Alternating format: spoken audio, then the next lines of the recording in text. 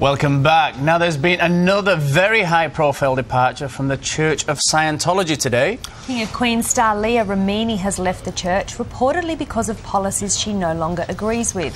Those allegedly include disconnecting from family members branded as suppressive persons by the church and not questioning the alleged abuse of members of its Sea Org religious order. Now, joining us for more on this is Today Tonight reporter Bryan Seymour. Now, Bryan, I know you've been covering this for at least six or seven years, right? So, how big is this move that Remini has left? This is big. Lisa Marie Presley left about eight months ago. Leah Remini, now leaving, is a massive loss for the church. She was held up by them as one of their uh, best celebrity recruiters, along with Tom Cruise and John Travolta, um, Nancy Cartwright, Anne Archer. Mm. But uh, Leah Remini's right up there in their A list. She would have spent a lot of time at the Celebrity Centre in Hollywood. They'll be, they'll be um, really well. That's why they're not making any comment. That no, I'm not. They'll be stuck for anything to say about this. Now she's saying that she left because it, uh, as she disagrees with their excommunication policies, among other things. How damaging is that?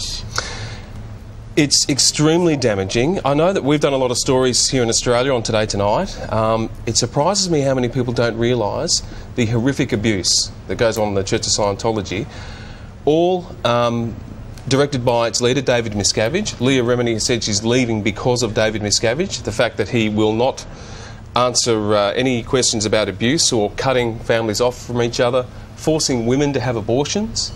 Um, running extremely vicious uh, military style drills, working children 100 hours a week, mm. paying his staff about $35 a week, allowing them to see each other for 15 minutes every fortnight. I mean, it, the, the, list goes on and on. Yeah, yeah. Bryan, you said before, you know, Leah Remini is a big recruiter for the church. Mm. Uh, do you think there'll be more departures? I predicted in 2013 that one of the, the big two would leave. You know who the big two are, don't you? John Travolta Tom and Cruise. Tom Cruise. I'm predicting yep. and I'm sticking to it. One of them has to leave. One of them has to leave this year, please. Um, Why Kate, you say that? Well, Katie Holmes left yep. because Suri was going to be drafted into the Sea organisation and basically put on a diet of Scientology. Yeah. Um, it's time for one of them to leave because even though they aren't involved with any of this stuff and probably didn't realise any of this was going on until fairly recently, until uh, stories that we've done and stories that the BBC have done and a few of the ABC here in Australia have got out.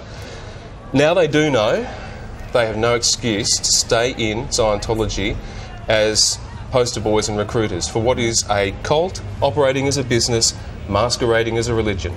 Um, just before you go, just quickly, how many people are we talking worldwide that are, are followers they claim, Scientology? They, they claim 11 million. It's about 30,000. In Australia, they claim 25,000 members.